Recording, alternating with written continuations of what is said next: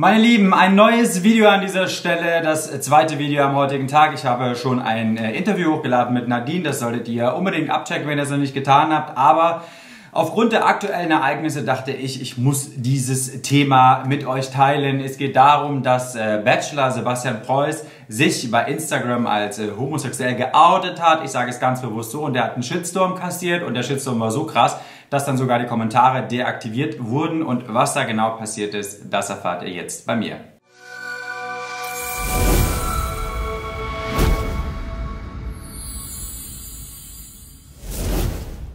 Meine lieben Leute, ich äh, freue mich, dass ihr wieder am Start seid. Ja, das Video war nicht geplant, aber ich dachte mir, dass ich das einfach äh, thematisieren muss, weil mir super viele Leute Nachrichten geschickt haben. Also, ich freue mich über eure Daumen nach oben und natürlich auf euer Feedback, weil ich finde, das ist ein Thema, wo man geteilter Meinung drüber sein kann. Und ich bin mir noch nicht so sicher, wie ich das sehe, aber ich will es auf jeden Fall mit euch teilen. Und zwar, heute ist der 1. April, Überraschung, ja, und Sebastian Preuß hat schon in seiner Instagram-Story angekündigt, angekündigt, dass er ja, seiner Community etwas mitteilen möchte. Leute, guten Morgen. Ich hoffe, euer Tag hat gut begonnen und ihr habt gut geschlafen.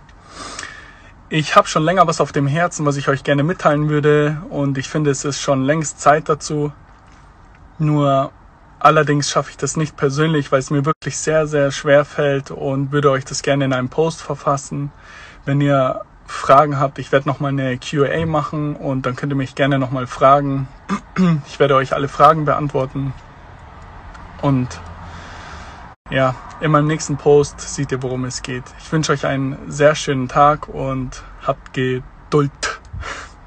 Story ist übrigens ein gutes Stichwort. Äh, bei mir könnt ihr auch mal in die Story gucken, aber nicht bei Instagram, sondern in die YouTube Story. Ja, da werde ich auch äh, ab und an so ein paar Updates posten. Und äh, es dauerte nicht lang und Sebastian hat ein Foto gepostet mit einem sehr krassen Statement. Und das werde ich euch jetzt mal vorlesen, weil ich habe mir das natürlich vorher gescreenshottet. Hey meine lieben Leute, ich glaube, es ist an der Zeit, mit der Wahrheit rauszurücken. Aus meinem besten und langjährigen Freund ist mein geliebter Schatz geworden.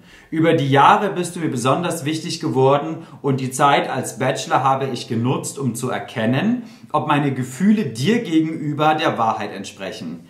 An alle Mädels, es tut mir furchtbar leid. Meine lieben Leute, bitte seid mir nicht böse aber ich stehe zu meinen Gefühlen und ich bin überaus dankbar darüber, dass ich es endlich über mein Herz gebracht habe, euch diese Nachricht mitzuteilen. Wahrscheinlich ist meine Entscheidung der letzten Nacht der Rosen endlich nachvollziehbar. Ich habe euch alle sehr lieb und ihr seid die beste Community. Danke. Jetzt behaupte ich einfach mal, dass es kein Zufall ist, ja, dass er das am 1. April gepostet hat. Und ich glaube und ich behaupte jetzt auch einfach mal, also sollte es komplett anders sein, was ich nicht glaube, dann äh, nehme ich das zurück.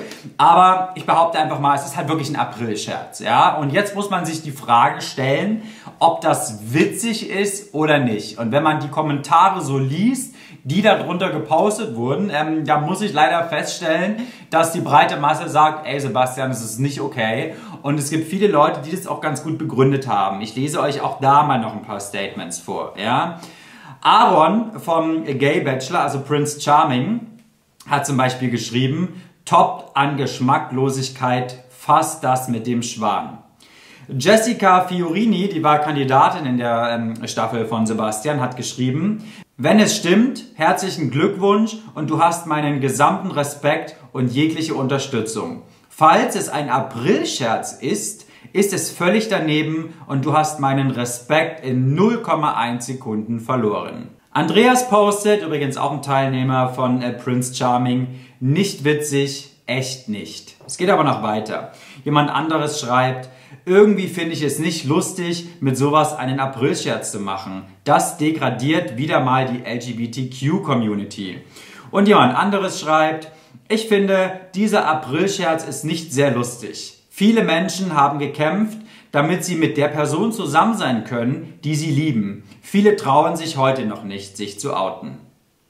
Und jemand anderes ist auch der letzte Kommentar jetzt schreibt, ich hoffe, dass es kein Aprilscherz ist. Es gibt Menschen, die jahrelang, teils lebenlang für ihre Sexualität kämpfen. Also bitte lass es kein Aprilscherz sein. Über sowas macht man keine Witze.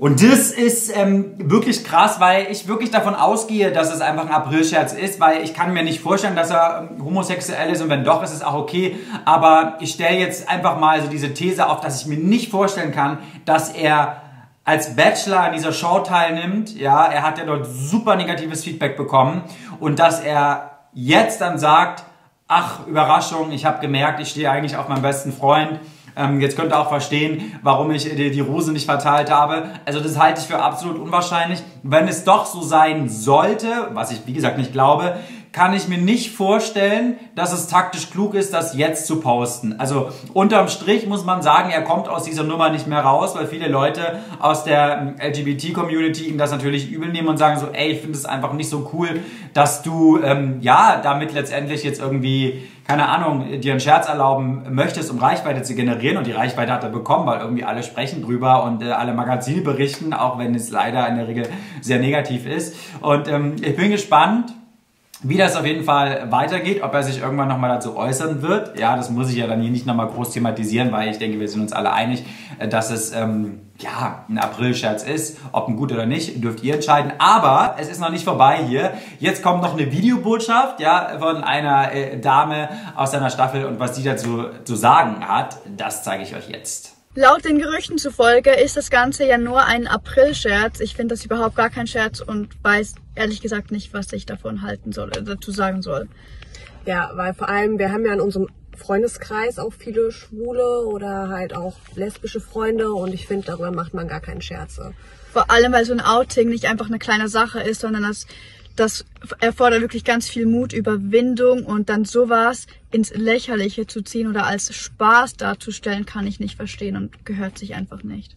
Nee, also ich finde das genauso. Also ich, also wenn auch welche schreiben, ja, äh, stellt euch doch nicht so an, ist doch nur ein Witz, aber generell darüber Witze zu machen, finde ich nicht gut. Und ja. wie du auch sagtest vorhin, über die Religion oder whatever, macht man auch, macht man auch keine Scherze. Ja.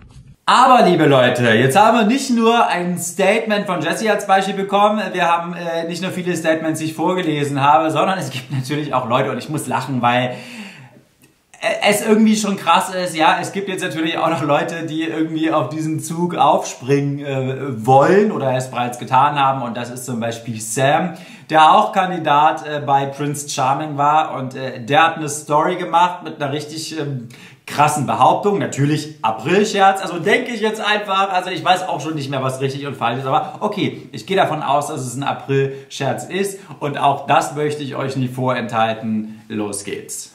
Hallo ihr Lieben, ich hoffe euch geht's gut. Ähm, Sebastian Preuß hat sich ja heute als schwul geoutet und hätte ich niemals gedacht, dass das macht. Aber ja, ich wusste schon lange. Ähm, ich habe nämlich Sebastian kurz vor den Dreharbeiten getroffen damals. Hm, ich meine, jetzt kann ich es ja sagen, wir hatten Sex gehabt, kurz vor seinen Dreharbeiten und dann hat er mir auch schon gesagt, dass natürlich sein Plan ist, dass er auch nur zu Bachelor geht, ähm, um, um dann später auch keine Rose zu verteilen. Warum der genaue Grund ist, das weiß ich nicht, aber es war auch damals eine einmalige, ein, einmalige Sache gewesen. Das war, ja, ich weiß nicht mehr ganz genau, wann das Datum war, kurz vor den Dreharbeiten im September und ich habe ihn kennengelernt über Freunde in, in München und ja, wusste selbst gar nicht, wer er ist und keine Ahnung was. Und dann ist es halt damals dazu gekommen. Ja, liebe Leute, also es ist so, dass ich, okay, ich muss ganz ehrlich sagen, ich musste schmunzeln, weil ich das natürlich sofort als Aprilscherz äh, anerkannt habe von Sam. Auch da kann man sich natürlich drüber streiten, muss man das machen oder nicht? Ist das ein guter Schachzug oder nicht? Gerade bei Sebastian relativ viel Shitstorm abbekommen ich bin wirklich auch so ein bisschen mit meinem Latein am Ende.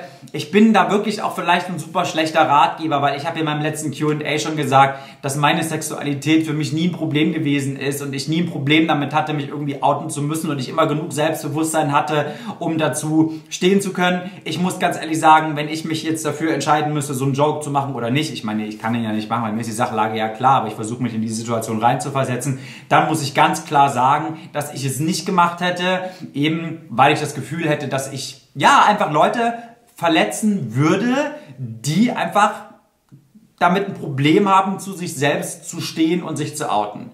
Deswegen finde ich, so ist irgendwie ein absolutes No-Go. Ich, ich hätte es nicht gemacht, aber man kann da auch unterschiedlicher Meinung sein. Und ähm, ja, diese Meinung möchte ich jetzt letztendlich von euch wissen. Schreibt es mal in die Kommentare. Ich bin mega gespannt auf euer Feedback. Ich freue mich auf äh, ganz viele Daumen nach oben.